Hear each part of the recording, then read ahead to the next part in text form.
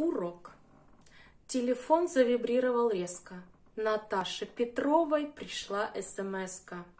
А в той смс от Мишки пять слов. Петрова, тебя я люблю. Иванов.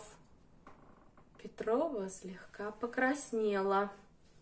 Ах, Мишка, какой он прикольный и классный мальчишка! И шлет смс всего лишь три слова. Дурак Иванов. Ну и подпись Петрова.